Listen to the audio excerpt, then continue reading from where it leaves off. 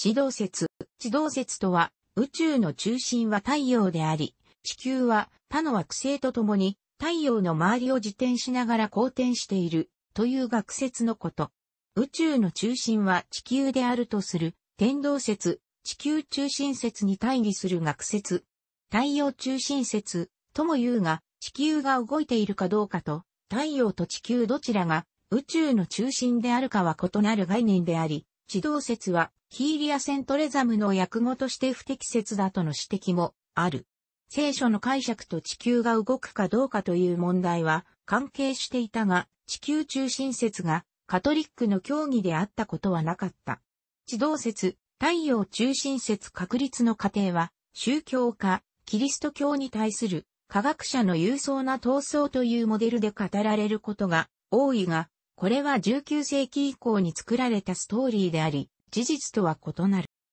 紀元前4世紀のアリストテレスの時代から、コペルニクスの登場する16世紀まで、地球は宇宙の中心にあり、周りの天体が動いているという天動説が信じられてきた。そもそも古代において、実際に自分の目で見て、1日一度太陽が地平線の上に昇り、そして地平線下に下り、太陽以外の天体も同じように動いている以上、その現象をそのまま受け取って解釈するのが普通であった。しかしながら月に関しては他の天体と動きが異なること、さらに天体観測が発達すると惑星が他の天体と違った動きをとり、さらに時折天球上を逆方向に動くことも認識された逆光。そうした中、コペルニクスよりも以前に地球が動いていると考えた者はいた。有名なところでは、紀元前後から4世紀前後のフィロラオスで、彼は宇宙の中心に中心美があり、地球や太陽を含めて、すべての天体がその周りを公転すると考えた。また、同時代のプラトンも、全のイデアである太陽が宇宙の中心にあると考えていた。特に傑出していたのは、紀元前3世紀のイオニア時代の最後のアリスタルコスである。彼は、地球は自転しており、太陽が中心にあり、5つの惑星がその周りを肯定するという説を唱えた。彼の説が優れているのは、太陽を中心に据え、惑星の配置をはっきりと完全に示したことである。これは単なる太陽中心説という思いつきを超えたものである。そしてこれにより、惑星の逆行を完璧に説明できるのである。これはほとんど科学と呼ぶ水準に達している。紀元前280年にこの説が唱えられて、以来、コペルニクスが登場するまで、1800年もの間、人類はアリスタルコスの水準に達することはなかった。なお、後世のレオナルド・ダ・ヴィンチも、また、地動説に関する内容をレスター思考に記している。広い意味ではこれらも、地動説、太陽中心説に入る。2世紀には、アポロニウス、ヒッパルコス、クラウディオス・プトレマイオスが天動説を体系化した。彼らは決して迷信や宗教的な考えから天動説を唱えたのではなく、当時知られていた知見に基づき、科学的、合理的な解釈の帰結として天動説を唱えた。これに対し、アリスタルコスの地動説では、なぜ空を飛んでいる鳥は地球の時点に取り残されないのか、なぜまっすぐ上に投げ上げた石は地球の時点に取り残されずに元の位置に落ちてくるのか、その説明ができなかったことが弱点とされた。また、アポロニウスの提唱した樹円と終点円の概念、さらに、プトレマイオスの提唱したエカントの概念を得て、天動説は当時の天体観測の精度において、惑星の逆行をほぼ完璧に説明できた。とはいえ、おかしなところは存在した。例えばなどが挙げられる。しかし、これらの現象を説明し、精密に惑星の位置を予報できる他の説はなかなか現れなかった。また、ヨーロッパでは古代ギリシア時代以降科学は停滞し、西ローマ帝国滅亡後は暗黒時代を迎えることになる。口述するようにヨーロッパにおいて科学が再び流星するのはルネッサンス以降出る。こうした理由で科学的な難点を含みながらも、16世紀まで天動説は支持された。天体観測の精度が向上するにつれて、プトレマイオスの体系との乖離が見られるようになったが、終点円の上に、さらに終点円を重ねることで説明された。16世紀にはコペルニクスが地動説を提唱するも、天体観測の精度においては、天動説に勝るものではなかった。天動説の体系は、長らく信じられてきたが、やがてその様々なほころびが明確化してきた。大航海時代以前は、船舶の運航はもっぱら沿岸航海であり、陸地が見える範囲に限られ、何も目印のない遠洋を航行できなかった。羅針盤が登場したことで陸地を離れた航行が可能となり、方位磁石と正確な製図があれば、遠洋でも自分の緯度が正確に把握できるようになった。しかし当時の製氷には問題がかなりあった。特に惑星の位置は数度単位での誤差が常にあった。さらにもう一つ問題が生じつつあった。当時使用されていたユリウス暦の1年は観測される1年よりわずかに長かったのである。この結果、紀元前45年の制定以来1000年以上経つ、うちに暦と天体の行にズレが生じ、例えば暦の上の春分の日が3月21日であるのに対して、実際に観測される春分は10日早い3月11日となっていた。春分の日は、キリスト教で最も重要な行事の一つである。復活祭の日付を計算する上で基準となる日であり、これが10日もずれているのは問題があった。この問題はロジャー・ベーコンによって提起されていたが、約300年間放置されていた。一般に言う1年は厳密には回帰年であり、その定義は分点、またはイタリ点から次の同じ分点、またはイタリ点までの時間である。しかし、16世紀当時に信じられていたプトレマイオスの体系では、1年という値は他の天文学的な値からは孤立した独立の量で太陽の位置を数十年から数百年以上かけて測定する以外に1年の値を決定する方法がなかった。クーンによれば、この観測には大変な困難が伴い、改暦問題は16世紀以前の天文学者たちを常に悩ませることになった。カトリック教会の司祭であったニコラウス・コペルニクスは、この誤差に着目した。彼は、そのような宗教的理由から、彼にとって正確でない一年の長さが使われ続けることは重大な問題だった。コペルニクスは、アリスタルコスの研究を知っており、太陽を中心に置き、地球がその周りを一年かけて公転するものとして、1光青年を365.2567日、1回記念を365.2425日と算出した。1年の値が2種類あるのは、1年の基準を太陽の位置に取るか、他の恒星の位置に取るかの違いによる。コペルニクスは1543年に没する直前、彼の施策をまとめた著書、天体の回転についてを刊行した。そこでは、地動説の測定方法や計算方法をすべて記した。こうして誰でも同じ方法で1年の長さや各惑星の公転半径を測定し直せるようにした。コペルニクスが地動説の創始者とされるのは、このように検証を行ったためである。またこの業績について、ガリレオ・ガリレイから太陽中心説を復活させたと評された。その後、ローマ教皇グレゴリウス13世によって1582年にグレゴリオ暦が作成されるが、改暦の理論には、コペルニクスの地動説は取り入れられなかった。プトレマイオスの天動説も取り入れられていない。しかし、コペルニクスが著書で初めてラテン語で紹介したアラビア天文学の月の運行の理論や算出した1年の値は改暦の際に参考にされた。なお、この月の運行理論はアラビアとは独立にコペルニクスが再発見したという説もある。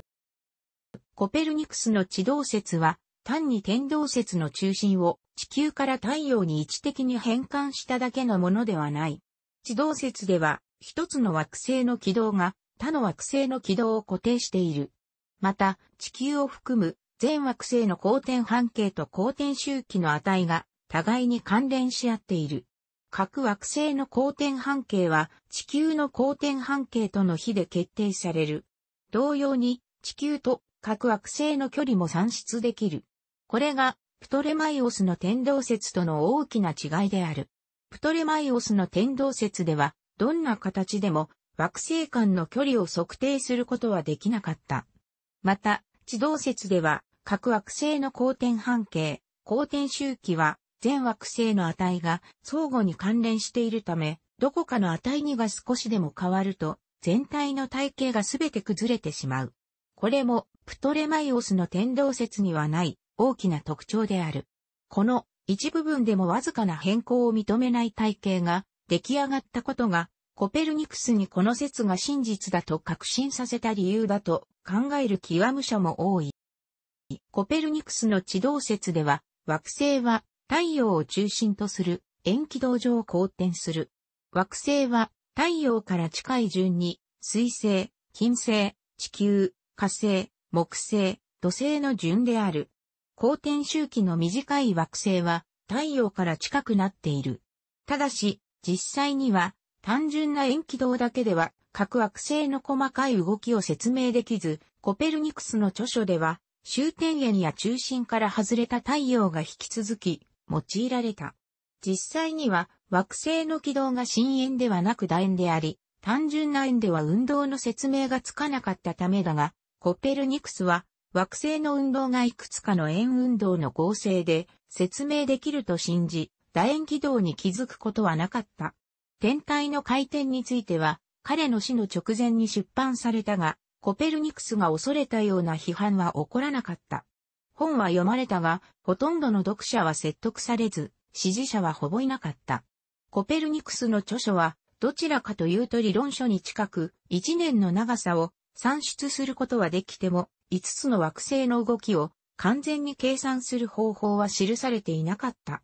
彼の理論はそれまでの地球中心説より観測データと適合するということも自然学的に見てシンプルだということもなかった。動く地球というものが基礎的な自然学や常識、おそらく聖書と衝突しており、彼の説が真実だと考えることは困難だった。物体は宇宙の最も低い地点である宇宙の中心に自然に落下すると考えられていたが、コペルニクスの説では地球が太陽の型に落下しない理由はわからなかった。また地球が24時間で1回転するなら、非常に高速で動いているはずであるが、動きを感じることはできず、空を飛ぶ鳥が置き去りにされることもなかった。地球が太陽の周りを回るなら星々は示唆を示すはずだが、示唆は観察されなかった。示唆がないということは、地球が動いていないか、構成が不可解なほど遠くにあるということを示していた。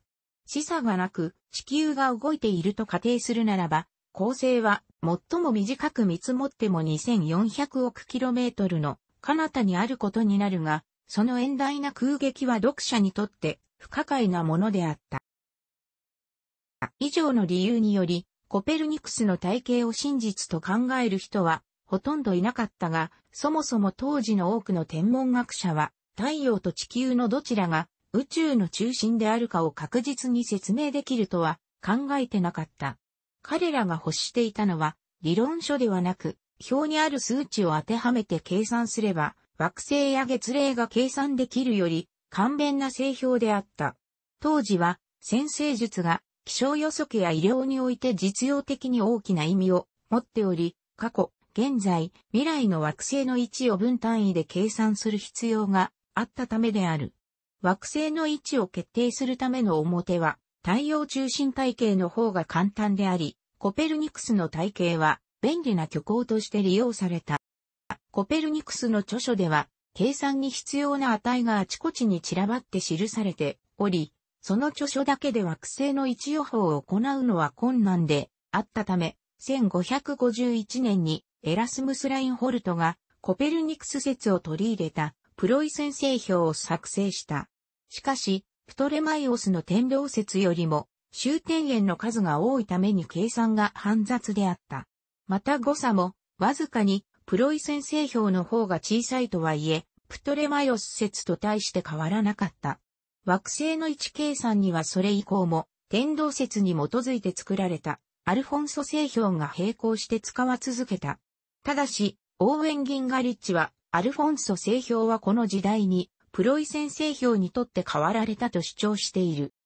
それまで、惑星の位置予報は、プトレマイオス説を使用しなければ行えなかった。他にも似た方法が考案されたこともあったが、プトレマイオス説をしのぐ精度で予報ができるものは存在しなか。しかし、コペルニクス説に基づいて、同等以上の精度で惑星の位置予報が行えることが分かったこの時代に唯一絶対であったプトレマイオス説の地位は大きく揺らいだ。ティコブラーエは恒星の年周視差が当時の望遠鏡では観測できなかったことから地球は止まっているとしたが太陽は5つの惑星を従えて地球の周りを公転するという折衷案を唱えた。最初に地動説に賛同した職業天文学者はコペルニクスの直接の弟子、レティクスを除けばヨハネス・ケプラーだった。ケプラーはブラーエの共同研究者であり、ブラーエの膨大な観測記録を土台として1597年、宇宙の神秘を公刊。コペルニクス説に完全に賛同すると主張して、コペルニクスを擁護した。これらに追随する形で、ガリレオ・ガリレイもまた地動説を唱えた。ガリレオ・ガリレイは地動説に有利な証拠を多く見つけた。まず実験によって慣性の法則を発見した。これはアポロニウス、ヒッパルコス、プトレマイオスらが地動説を否定した根拠である。なぜ空を飛んでいる鳥は地球の時点に取り残されないのか。なぜまっすぐ上に投げ上げた石は地球の時点に取り残されずに元の位置に落ちてくるのかを合理的に説明するものであった。そして実際の天体観測において、木星の衛星を発見し、地球が動くなら月は取り残されてしまうだろうという地動説への反論を封じた。また、ガリレオは金星の満ち欠けも観測。これは地球と金星の距離が変化していることを示すものだった。またガリレオは太陽黒点も観測。太陽もまた自転していることを示した。ガリレオはこれらを論文で発表した。これらはすべて地動説に有利な証拠となった。ガリレオは潮の干満も地動説の証拠と思っていたが、後に潮の干満は月の引力によるものだとして否定された。ジョンズ・ホプキンス大学の科学史教授はガリレオと教会は神話と誤解に満ちたエピソードであると指摘している。知的、政治的、個人的問題が絡み合って起きた事件であり、未だ完全に解明されていないが、宗教対科学という単純な構図ではなかったことが分かっている。科学と宗教の対立という構図は、19世紀に科学者によって作られたストーリーである。地球中心説がカトリック教会の正式な教義であったことはなく、教会は地球中心説と太陽中心説のどちらが真実かという問題に直接利害関係を持っていなかった。ガリレオの支持者と反対者は、教会の中と外の両方に存在しており、ガリレオの最初の主要な支持者は、イエズス会の天文学者たちであった。宗教裁判所がガリレオに出した地球の運動を撤回するようにという命令は、タイミングの悪さや政治的陰謀、教会の派閥争い、聖書の解釈権、友人だったローマ教皇ウルバヌス8世、マッフェオルベリーニとのいさかいなどから起こったと考えられている。聖書の解釈権を有しているのは教会であったが、動く地球が聖書の解釈に関わっており、ガリレオは1610年代にこの問題について、自説を擁護するために請求に口出しをしていた。自分の主張を通すために、伝統的な解釈を拒否するというやり方は、同時代のプロテスタントに似ていた。ガリレオは、ウルバヌス発生と太陽中心説と地球の運動の明らかな証拠が出るまで仮説として扱うという約束をし、天文台はお書く許可を得た。しかし、バチカンの許認可官と検閲官の承認を得て本が世に出ると、ウルバヌス発生は約束した内容は最終ページでわずかに触れられるのみで、しかも同契約を演じた人物から語られていることを知った。30年戦争に関する外交交渉、清掃や批判で疲弊していたウルバヌス8世は、侮辱されたと感じて激怒し、宗教裁判所による司法取引の提案を拒み、司法取引が認められれば、ガリレオは軽微な罪とされ、自宅に返されるはずだったガリレオに地球の運動を撤回するように命じ、ガリレオはこれに同意した。しかし、ウルバヌスの老いを含む数奇教たち数人はガリレオの判決文に署名することを拒否しており、教会の総意でなかったことがわかる。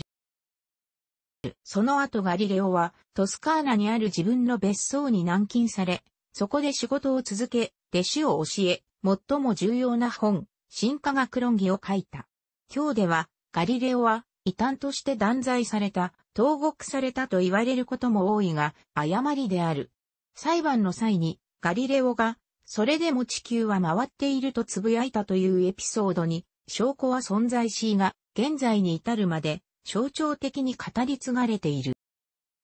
ガリレオの判決の影響を正確に推し量ることは難しい。ルネ・デカルトなど何人かの自然哲学者は、コペルニクス説への確信を表明しようとしなくなった。カトリックの聖職者は、コペルニクス体系を公然と支持できなくなり、ティコブラーエの体系か、その変形版を採用した。しかし一方で、天文学を含む科学的探求は、イタリアや他のカトリック国でも行われ続けていた。ヨハネス・ケップラーは、神聖ローマ帝国皇室付数学官、宮廷付占星術師でありながら、平然と地動説を唱え続け、著書がローマ教皇庁から禁書に指定されても、それを理由に迫害を受けることはなかった。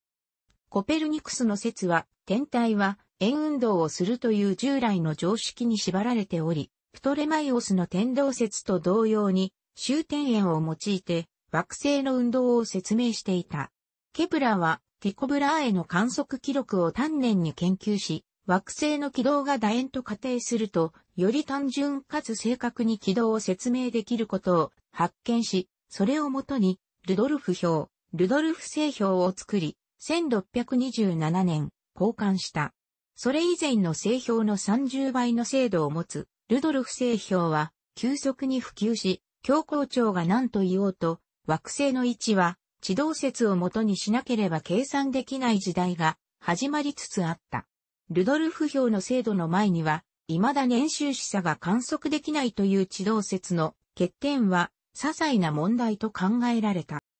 しかし、ケプラーもガリレオも、まだ鳥がなぜ取り残されないのか、地球がなぜ止まらないで動き続けているのか、という疑問には、正確な答えが出せないままでいた。ガリレオは、慣性の法則を発見するも、その現象がなぜ起きるかの原因の説明には至らなかった。これを完成させるのは、アイザック・ニュートンの登場を待つ必要があった。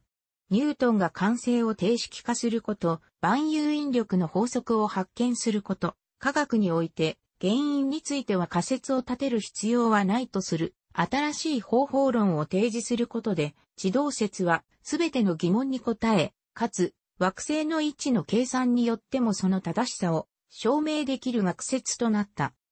また、ガリレオやケプラーの地動説は宇宙の中心を太陽とするものであった。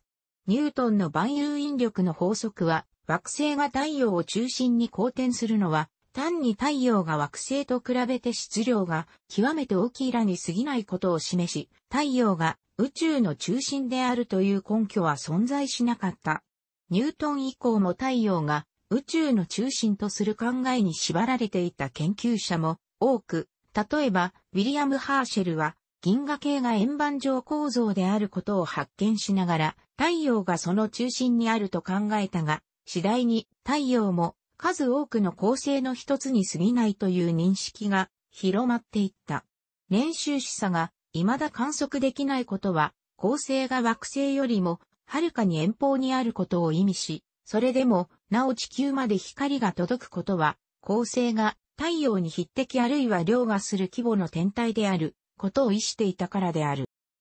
ただし、地動説の証明を確固たるものとするには、ジェームズ・ブラッドリーの高校差の発見、フリードリッヒ・ビルヘルム・ベッセルによる年収視差の観測の成功も必要となる。打足ではあるが、2014年、アメリカ科学振興協会は、アメリカ人の約4人に1人は未だ地球が太陽の周りを公転していることを知らないという結果を公表している。地動説について言及する際に必ずと言っていいほど地動説がキリスト教の宗教家によって迫害されたという主張がされる。ローレンス・エム・プリンチペは科学者と宗教家の勇壮な戦いという19世紀後半に考案され普及した闘争モデルは現在2011年においては科学者は皆否定していると述べている。このモデルでは歴史的な状況を正しく理解することはできない。ヨーロッパ近世初期の自然哲学者は自然を知ることは神を理解することであると考えており、信仰と科学的探求に矛盾はなかった。参考までに両論を併記する。上記のような科学者と宗教家の闘争というモデルは現在では否定されている。上記のような説、現在では支持されていないに対しては以下のような反論がなされた。古代中国においても独特な地動説が存在した。列子の気有の古事の原文には、我らがいる天地も無限の宇宙空間の中で見れば、ちっぽけなものに過ぎない、夫天地、空中一細物とあり、当時すでに宇宙的スケールの中では、天地でさえ微小な存在だという認識があったことがわかる。ただし、古代中国人は天地が実は地球であることを知らなかった。漢代に流行した抜き書でも素朴な地動説が散見される。例えば、春秋にこじつけた抜き書には、天は左遷し、地は右動す、天左遷、地右動、地動けばすなわち天正に見、あらわる、地動側見、お天正とある。小書、諸教の抜き書に載せる四遊勢は、大地は毎年東西南北及び上下に動いている、という奇怪な地動説であるが、大地は常に移動しているのだが、人間は感知できない原文、地久指導を太め、一縁。それはちょうど窓を閉じた大船に乗っている人には、船が動いていることが知覚できないようなものだと合わせて解いている点が注目される。当の流草原も、こうした中国独特の地動説を踏まえて、漢詩を読んでいる。天体。上述の通り、西洋のヒーリアセントレザム、太陽中心説。現代中国語では、日清説の訳語として、地動説は不適切であるとする意見もある。古代中国の地動説は、ヒーリアセントレザムとは異質の宇宙観ではあるものの、自動、地動側見、お天正、地久指導太めなど、明確に地動を解く、文字通りの地動説であった。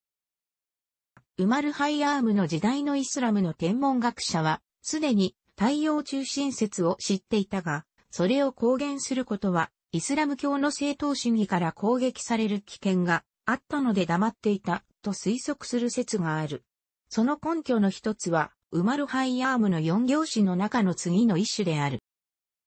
ポエム回るこの世に、我ら、惑いて思えらくそは、回転上鎮のごとしと太陽は明かりにして世界は、提灯の骨我らそのうちに、影絵のごとく、ウオサオース、ポエム。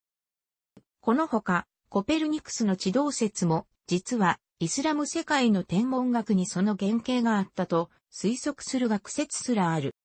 一方、アブ・ライハーン・アルビールーニー、973年から1048年は、その著書、マスード法典にて、地動説を記載している。また、地動説かどうかは不明だが、アッパース朝のマームーンの時代に、アルフワーリズミーがユーフラテス川の北、シンジャール平原やパルミラ付近で地球が球体で、あるとの前提でケイドビー四五千個兆の測量を行っている。その測量を結果からすると、地球の周長は3万 9000km、直径は1万 500km となる。